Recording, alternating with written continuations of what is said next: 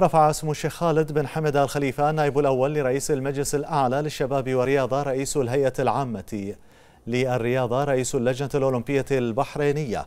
رفع أسمى آيات التهاني والتبريكات إلى مقام حضرة صاحب الجلالة.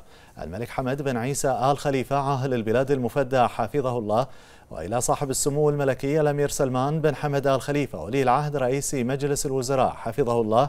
وإلى سمو الشيخ ناصر بن حمد آل خليفة ممثل جلالة الملك للأعمال الإنسانية وشؤون الشباب رئيس المجلس الأعلى للشباب والرياضة بمناسبة التأهل التاريخي للمنتخب الأول لكرة اليد إلى منافسات دور الثمانية بمسابقة كرة اليد بالنسخة الثانية وثلاثين بدورة الألعاب الأولمبية طوكيو 2020 وأعرب سموه عن الفخر والاعتزاز بالوصول التاريخي لأبطال اليد لدور الثمانية بأولمبياد طوكيو والذي يعد بحد ذاته إنجازا مشرفا لهذه اللعبة الجماعية التي كسبت ثقة الجميع بما حققته من نتائج مشرفة في مختلف المشاركات واستطاعت الظهور بمستويات قوية في هذا المحفل الرياضي العالمي.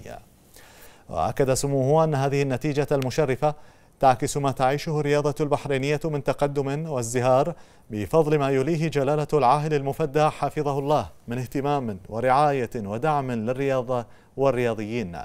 كما أضاف سموه أن اهتمام ودعم صاحب السمو الملكي ولي العهد رئيس مجلس الوزراء بالقطاع الرياضي من خلال المشاريع التنموية التي تنفذها الحكومة الموقرة برئاسة سموه ساهمت في تهيئة المناخ الملائم للرياضيين للاستعداد الأمثل من أجل المشاركة والظهور بمستويات قوية والمنافسة على تحقيق النتائج المميزة.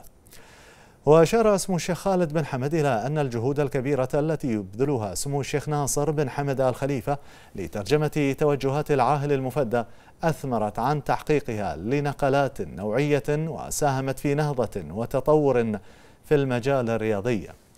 وأشاد سموه بعطاء أفراد منتخب اليد في هذه المشاركة مؤكدا سموه نجاح المنتخب في تحقيق العديد من النتائج المميزة يعكس العمل الجاد بالاتحاد البحريني لكرة اليد برئاسة سعادة النائب علي عيسى أسحاقي.